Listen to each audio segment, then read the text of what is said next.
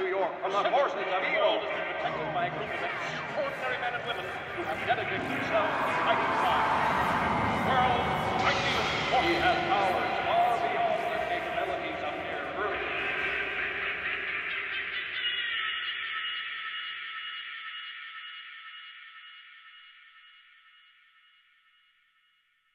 Can you name the guys that were picked ahead of you, Tom?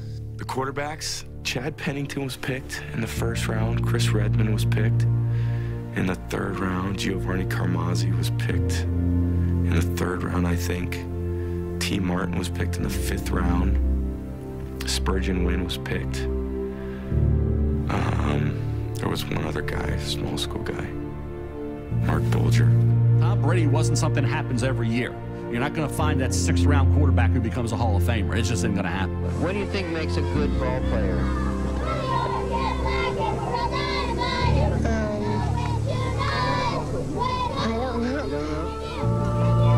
Tom Brady knew as much then as experts will tell you now. It's not easy to identify good players, and even harder to predict NFL quarterbacks.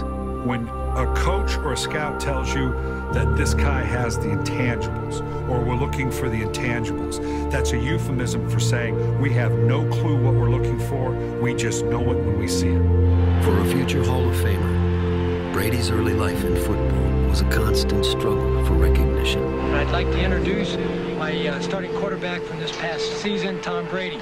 If any colleges or coaches are interested in uh, seeing more of Tom, we have a whole list of uh, past plays that you can sort of look over the 10-game period of last season. I never played football until my freshman year, and as a freshman, I was the backup quarterback on a team that was 0-8. The team didn't score a touchdown, and he wasn't deemed good enough to play one offensive play as a quarterback. The only reason why I played my sophomore year was because the kid who was the freshman quarterback stopped playing because I'm not playing football anymore. So I was like, I guess I'm going to play. And I always had a decent arm, but I just really took to the game. And it was hard. I remember taking a walk with my dad and mom around the block.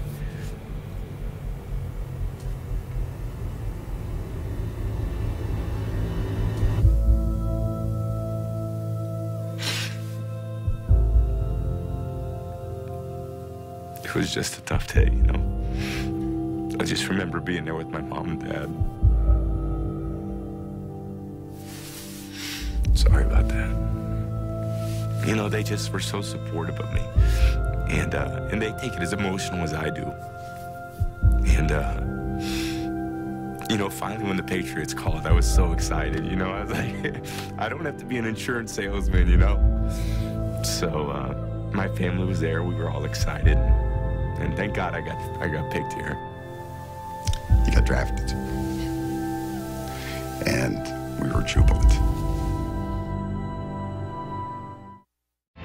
In 2010, three time Super Bowl champion Tom Brady became the first unanimous MVP in NFL history. Not bad for a California kid. It's a story that I tell guys. I can come from anywhere. I can go undrafted, drafted low, and win a Super Bowl. Tom Brady did it. I'm proud to be part of that 2000 quarterback draft class that he's holding the torch high for us. I feel like Tom Brady's one of those players where everything came together in New England, but he would have had some some form of success no matter where he went, no matter where he was taken, and no matter what team drafted him.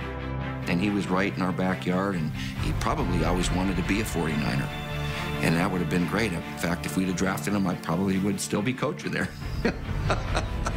We all missed on Brady, including the Patriots, because if they knew he was going to be that good, they wouldn't have waited till the sixth round. Lacks great physical stature and strength. Lacks mobility and ability to avoid the rush. Does not throw a really tight spiral. System type player who can get exposed if forced to ad lib. It means they missed the most important part heart. They didn't understand what drives somebody. We didn't open up his chest and look at his heart. We didn't look at that. I don't know if anybody did. And what kind of spine he has, and resiliency, and all the things that are making him really great right now. This game is a struggle. Tom Brady embraced that struggle more than anybody I've ever known. It's not by accident he got to, to where he is. And once he had a Super Bowl, two Super Bowls, three Super Bowls, it doesn't matter. He's still working just as hard. Throwing the ball with the C as opposed to a U, keeping your front shoulder closed, the little six-inch step. That bicep as close to your ear as you can. By the time it's all said and done, who knows how many rings he'll have. A decade into his career, the man taken with pick 199 has achieved in all, but still feels he has plenty to prove. It's not really a chip on my shoulder. It's just that feeling that, man, maybe nobody wants you. When I watch myself play at times, I still don't think I'm very good. Man, you're still not very fast. You know, you got a decent arm, you know, you made some pretty bad reads on that day. That's what gets me up and motivates me. I always want to feel like I'm the best quarterback for this team.